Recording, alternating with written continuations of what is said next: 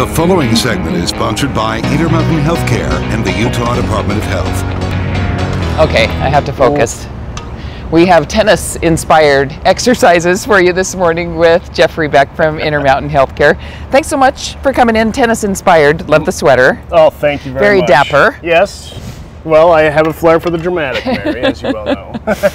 yeah, so tennis-inspired exercises. This is something that people can do that uh, can improve agility, hand-eye coordination, and burn calories Okay. at home. So first, we're going to do an exercise called the, the quick catch. So we're going to cross our hands like so, a ball in the top Uh-huh. hand. And what we're going to do is let the ball go with the right hand, and then try to catch it Oh, quickly boy. with the left.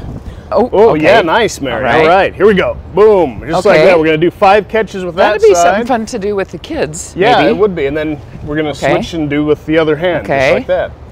Okay. Good. Woo. Three sets, five catches each. Okay, easy enough. Easy enough. Something to do while watching TV. Absolutely, it's kind of a fun little activity. So this next one, you don't need a tennis racket for, but um, of course I had to bring one. A big for, stick. for show. Okay. this next one is the single leg hop swing. So I'm going to balance on my right leg.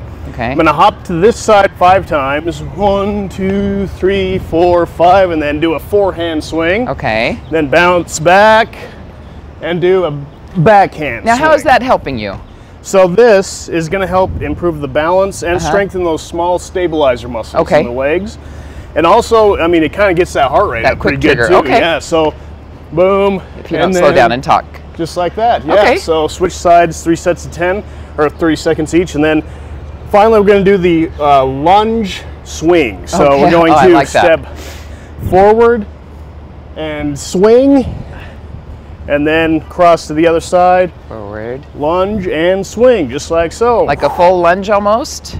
yeah, pretty close. Almost, yeah. Just come down until your knee is about parallel to the floor, and of course, don't let the knee go past the toes. Okay, and how long did it take you to get your hair to do that? Because that's an exercise in itself. The blow drying, the gel. No blow dry. Okay, Mary, no, okay. I rolled out of bed looking like this. Yeah, I, I woke up like this. Okay.